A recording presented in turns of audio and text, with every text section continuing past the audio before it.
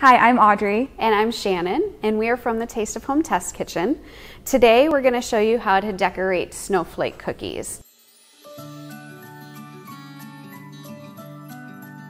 So these are fun cookies because they use a couple different techniques. One with royal icing, one with a marshmallow fondant that we're going to make from scratch. Start with thick royal icing. Use gel food coloring to dye it. Keep half thick for a border and thin the other half for flooding. We use the gel food coloring so that it doesn't thin the icing down as much as a liquid food coloring would. Start by piping a border around the cookie using stiff consistency icing.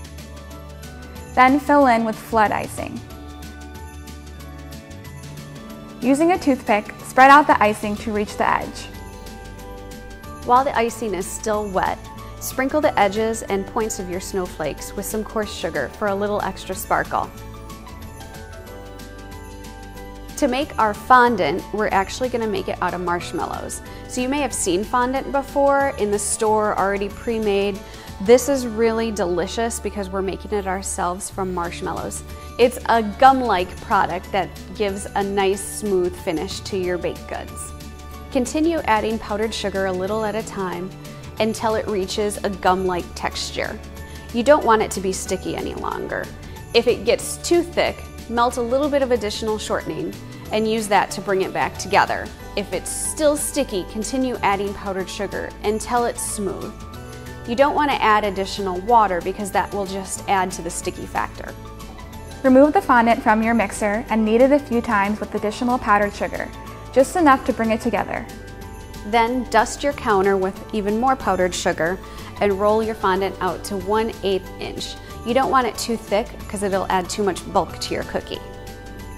Once your fondant is rolled out nice and thin, use your cookie cutters to cut out your shapes.